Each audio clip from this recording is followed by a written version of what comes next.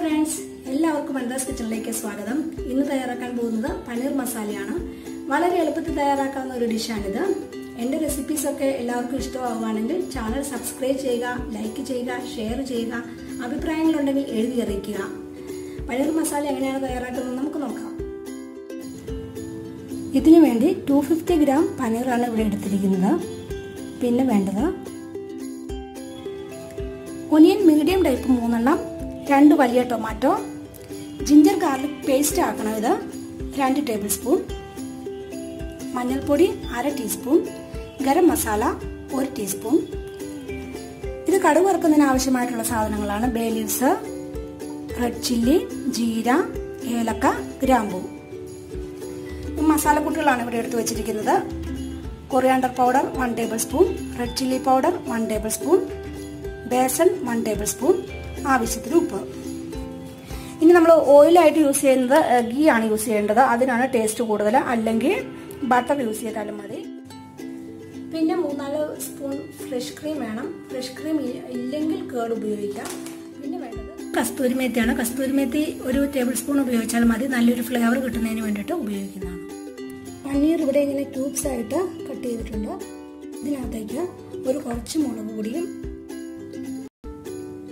കുറച്ച് ഉപ്പ് കുറച്ച് മഞ്ഞൾപ്പൊടി ഇത്രയും ഇട്ട് ഇത് ഒന്ന് പരട്ടി കുറച്ച് നേരം ഒരു അഞ്ച് മിനിറ്റ് നേരം വെക്കാം. അതിനുശേഷം നമുക്ക് ചെറുതായിട്ടൊന്ന് ഫ്രൈ ചെയ്തെടുക്കണം. ഇത് ഇങ്ങനെ പരട്ടി വെച്ചില്ലെങ്കിലും കുഴപ്പമില്ല. പക്ഷെ ഇങ്ങനെ പരട്ടി വെച്ചിട്ടുണ്ടെങ്കിൽ ഇതിന് ടേസ്റ്റ് കൂടും. ഒരു അഞ്ച് മിനിറ്റ് നേരം വെച്ചതിന് ശേഷം നമുക്ക് ചെറുതായിട്ടൊന്ന് ഫ്രൈ ചെയ്ത് എടുത്തു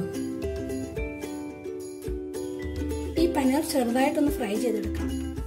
ഇതിനകത്തേക്ക് ഞാൻ ഉപയോഗിക്കുന്നത് ഒരു ടേബിൾ സ്പൂൺ ഗീ ആണ് ബട്ടർ വേണമെങ്കിലും യൂസ് ചെയ്യാം.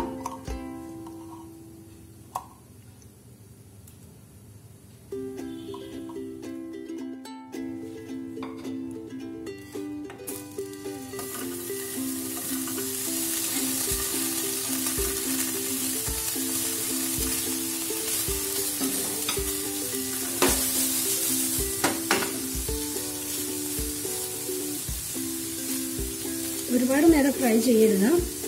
ഒരുപാട് നേരം ഫ്രൈ ചെയ്തിട്ടുണ്ട് ഇത് ഹാർഡായി പോകും ഇത് ഫ്രൈ ചെയ്യാതെ നമുക്ക് ഉപയോഗിക്കാം. പക്ഷേ ഇങ്ങനെ മാരിനേറ്റ് ചെയ്ത് വെച്ച് ഫ്രൈ ചെയ്തെടുക്കുകയാണെങ്കിൽ ഒരു പ്രത്യേക ടേസ്റ്റാണ് ഇതിന്.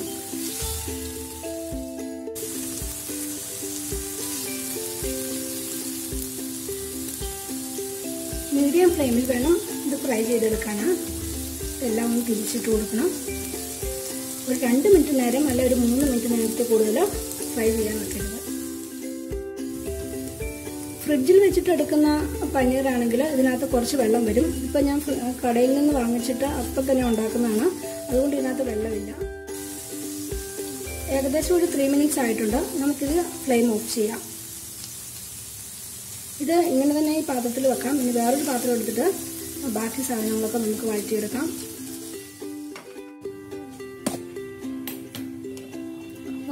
പാത്രത്തിലേക്ക് രണ്ട് ടേബിൾ സ്പൂൺ ഗീ ഒഴിച്ചു കൊടുക്കാം. ഇതിന് വേണമെങ്കിൽ ബട്ടർ യൂസ് ചെയ്യാം. പക്ഷേ ഗീ ആണ് കുറച്ചുകൂടി ടേസ്റ്റ് ആയിട്ട് എനിക്ക് തോന്നുന്നത്. ഓയിൽ കുറച്ച് ചൂടായി കഴിയുമ്പോൾ നമുക്ക് അതിനകത്തേക്ക് ജീരകം ഇട്ട് കൊടുക്കാം.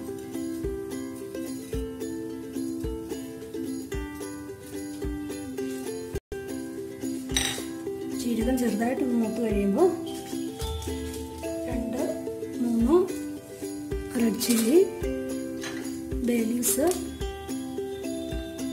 ഗ്രാമ്പു ഏലക്ക ഇത്രയും ഇട്ട് കൊടുക്കാം.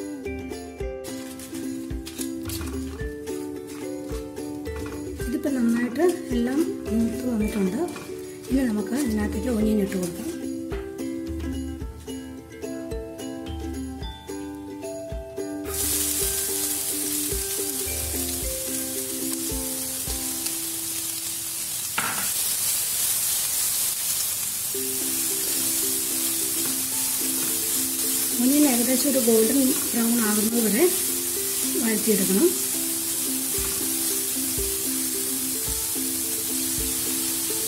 കുറച്ച് ഉപ്പ് കൂടി ചേർത്ത് കൊടുക്കുകയാണെങ്കിൽ പെട്ടെന്ന് വഴഞ്ഞു കിട്ടും.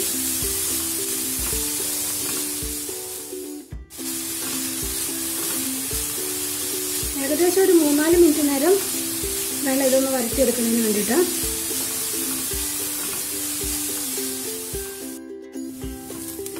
ഒന്നിന്റെ കളർ ചെറുതായിട്ടൊന്ന് മാറിക്കഴിഞ്ഞാൽ പിന്നെ നമുക്ക് മീഡിയം ഫ്ലെയിമിലിട്ട് കൊടുത്ത് ഇത് വഴറ്റിയെടുക്കണം. ഇത് ഗോൾഡൻ ബ്രൗൺ ആയിട്ടുണ്ട്. ഇതിനകത്തേക്ക് നമുക്കിനി മല്ലിപ്പൊടി ഇട്ട് കൊടുക്കാം.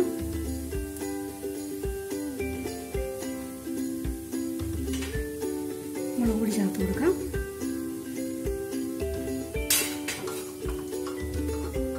ഇത് ലോ ഫ്ലെയിമിൽ ഇട്ട് തന്നെ വേണം ചെയ്ത് കൊടുക്കാൻ. അല്ലെങ്കിൽ പൊടി പെട്ടെന്ന് കരിഞ്ഞു പോകും.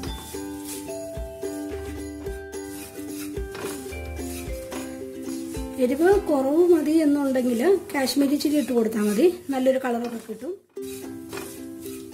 അല്ലെങ്കിൽ റെഡ് ചില്ലി പൗഡർ ഇട്ട് കൊടുത്താൽ മതി. ഇത് ഒന്ന് ചൂടായാൽ മതി. ഈ മുളക് പൊടിയും മല്ലിപ്പൊടിയും. അതിനുശേഷം നമുക്ക് ഈ ബേസൻ പൊടി ഇവിടെ എടുത്ത് വെച്ചിരിക്കുന്ന പൊടി ഇട്ട് കൊടുക്കാം. ഈ ബേസൻ പൗഡറിന്റെ പച്ചച്ചവ നന്നായിട്ട് മാറുന്നത് വരെ ഇത് ചൂടാക്കണം. ടൊമാറ്റോ നന്നായിട്ട് അരച്ചെടുക്കണം. അതുകൂടി ഇതിനകത്തേക്ക് ചേർത്ത് കൊടുക്കാം.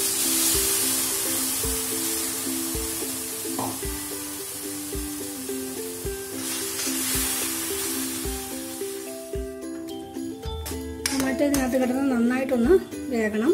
അതുപോലെ നമുക്ക് ചെറുതായിട്ടൊന്ന് ഇളക്കി കൊടുത്തുകൊണ്ടിരിക്കണം. മീഡിയം ഫ്ലെയിമിലിട്ട് വേണം ഇത് റെഡിയാക്കി എടുക്കാൻ. ടൊമാറ്റോ ഇപ്പോൾ നന്നായിട്ട് വെന്തിട്ടുണ്ട്. ഇനി നമുക്ക് ശകലം വെള്ളം കൂടി ഒഴിച്ചു കൊടുക്കാം.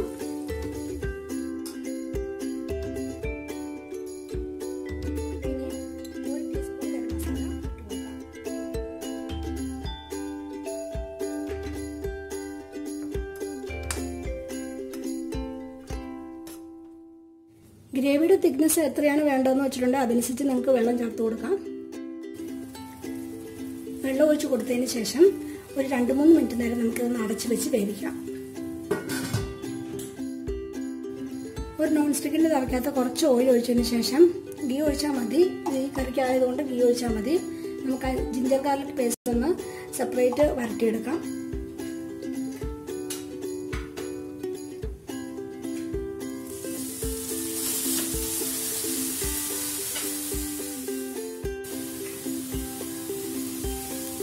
ഈ ജിഞ്ചർ ഗാർലിക് പേസ്റ്റ് ഇങ്ങനെ പ്രത്യേകം ഒന്ന് ഫ്രൈ ചെയ്തിട്ട് കറിയുടെ കൂടെ ചേർത്ത് കൊടുക്കുവാണെങ്കിൽ ഒരു പ്രത്യേക ടേസ്റ്റ് ഉള്ളതായിട്ട് എനിക്ക് തോന്നിയിട്ടുണ്ട്. അതുകൊണ്ട് ഞാൻ എപ്പോഴും ഇങ്ങനെ പ്രത്യേകമായിട്ട് ഫ്രൈ ചെയ്യുകയാണ് ചെയ്യുന്നത്. അല്ലെങ്കിൽ അതിന്റെ കൂടെ നമ്മളിപ്പോൾ ഉള്ളിയൊക്കെ വഴറ്റുന്നതിന്റെ കൂടി ഇത് വഴച്ചിട്ടുണ്ടെങ്കിൽ അത് അത്രയ്ക്ക് അങ്ങോട്ട് നന്നായിട്ട് വഴണ്ട് വരികയില്ല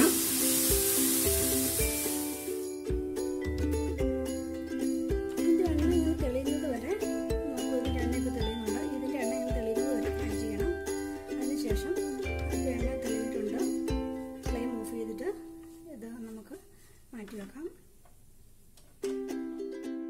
ഇത് മിക്സിക്കകത്തിട്ട് ഒന്ന് കറക്കി എടുത്തിട്ട് ഒന്ന് നമുക്കിത് ഈ കറിക്കകത്തേക്ക് ചേർക്കാം. ഏകദേശം ഒരു മൂന്ന് മിനിറ്റ് ആയിട്ടുണ്ട്. വീണ്ടും എണ്ണ മുകളിൽ തെളിഞ്ഞിട്ടുണ്ട്. ഇനി നമുക്ക് പനീർ ഇട്ട് കൊടുക്കാം.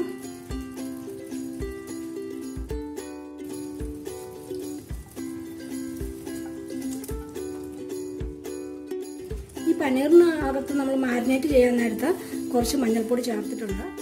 ഇതിനി അധികം ഇട്ട് ഇളക്കരുത്. കാരണം ഇത് പൊട്ടിപ്പോകും. ഇത് ലോ ഫ്ലെയിമിൽ വെച്ച് തിളയ്ക്കുന്നതിന് വേണ്ടിയിട്ട് നമുക്ക് കുറച്ച് നേരം വെയിറ്റ് ചെയ്യാം. ഈ പനീർ ചേർത്ത ഉടനെ ഈ ജിഞ്ചർ ഗാർലിക് പേസ്റ്റിന്റെ പൊടിയും കൂടെ വറുത്ത് വെച്ചിരിക്കുന്ന ഈ പൊടിയും കൂടെ നമുക്ക് ചേർത്ത് കൊടുക്കാം. തെളിഞ്ഞിട്ടുണ്ട് ഇതിനകത്തേക്ക് നമുക്കിനി ഒരു രണ്ടോ മൂന്നോ ടേബിൾ സ്പൂൺ ഫ്രഷ് ക്രീം ഒഴിച്ചു കൊടുക്കാം.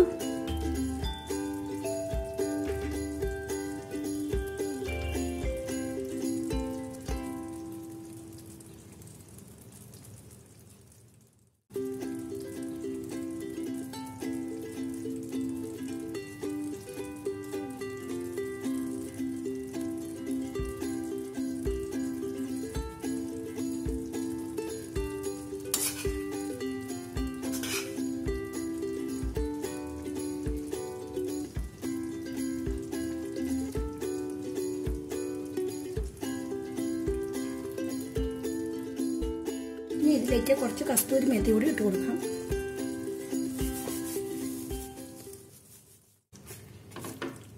ഈ കസ്തൂരി മേത്തിയും കൂടി ചേർത്ത് കഴിയുമ്പോൾ നല്ലൊരു മണമൊക്കെ ഉണ്ട്. ഗാർണിഷ് ചെയ്യുന്നതിന് വേണ്ടിയിട്ട് കുറച്ച് കൊറിയണ്ടർ ലീവ്സ് കൂടി ഇട്ട് കൊടുക്കാം.